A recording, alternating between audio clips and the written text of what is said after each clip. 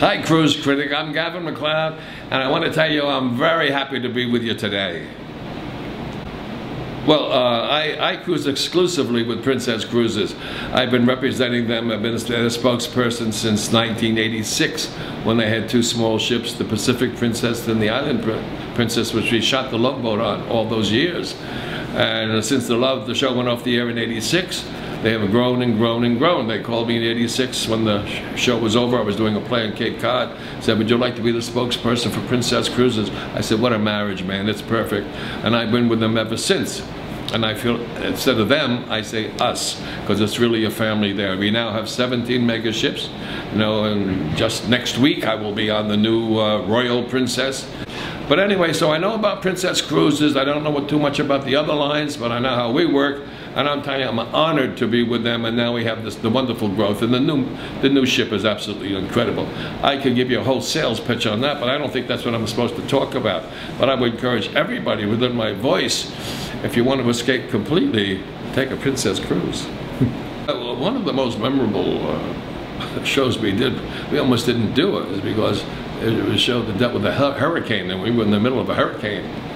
And we were off, some of us were off on an island on a daily trip and this hurricane came up. and the only one to take to take take the ship over was Isaac, the bartender. I mean, come on, Hollywood, I love you. Uh, but he's wonderful and gifted and all that.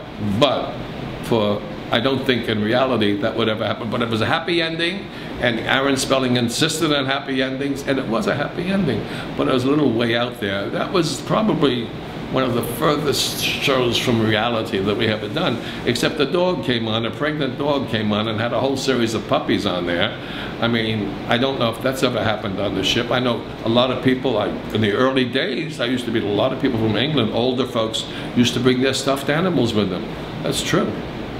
Uh, but wild stories, I mean, a Charo, who was pretty wild, she did a lot of sh shows there, Cuchi, Cuchi, Cuchi Girl and she was absolutely fabulous. You know, she's the world's second best flamenco guitarist, and she's a sensational person, I must say.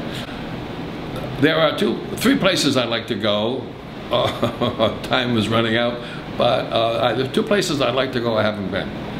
One is Scotland and one is Ireland, and one is Brazil. I would love to get to Rio. I would love to see Christ up there in person. Well, a good a good tip if you if you're going to go on a cruise, and I'm sure a lot of the people who are listening to me right now have been on cruises. That's why they're listening. But I would say always bring a lot of clean underwear. Sometimes the the, uh, the laundries don't work, and so you want to make sure you have that.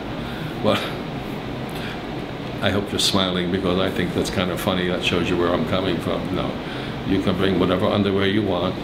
You can live the life you want. But I'm Princess we always have clean underwear.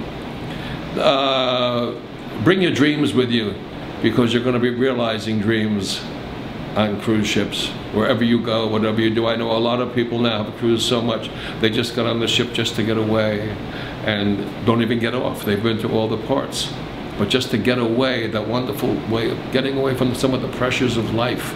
That's what i always loved about it. And i love if you, if you can afford it get a balcony.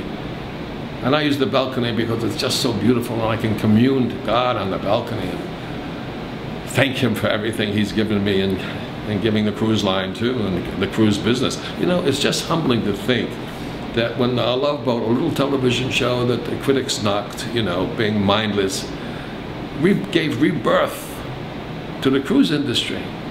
Before we went on the air, just a few affluent people really cruised. And now it's just amazing. And now I just saw two new ships that people own their own condos on these ships. They look like New York apartments inside. And they pick where they want to go in the world and they go there. Everybody on the ship votes and they go to these different places. And that's their hotel and that's like it is in real life with, with the rest of us on a cruise line. But I, I think balconies are just the greatest thing that's ever happened. And, and Princess, if you take a Princess out, the thing, the innovation that I love the Princess did many years ago that many of the cruise lines have followed, they have a huge screen outside uh, on the top deck overlooking the pool. And so it's the smallest one is 70 feet by 30 feet. The Royal Princess is 700 square feet. It's huge. And you see concerts. I saw Paul McCartney do a concert a few months ago when I was coming uh, across the Adriatic in the daytime. It was such a thrill. Only myself and this one man, everybody else was off the ship. I had already been where they were going, and I, Paul is a friend of mine, and I wanted to see this concert. He opened Shea Stadium, and I saw it right. His drummer is a good friend of mine, and I, I saw this, and I thought, thank you, God, they have this on our ship. What a treat! And I was the only one watching, except as I went up the stairs when it was over, there was an old stodgy guy sitting there. I said, boy, Paul McCartney still got it, doesn't he? And he said, he used to have. I said, he used to have? He used to have. He ain't got much anymore. I said, oh boy. Some people just don't enjoy some of the joys of life, you know what I mean? Enjoy the joys of life on a cruise. It gives you great memories, great photographs. It's almost rejuvenating when you really think about it. So it's healthy. So take care of yourself. Put on those life jackets when they tell you. Don't try to, I always do, we always do it. And find out where you have to exit for safety. And God bless you and have a great time.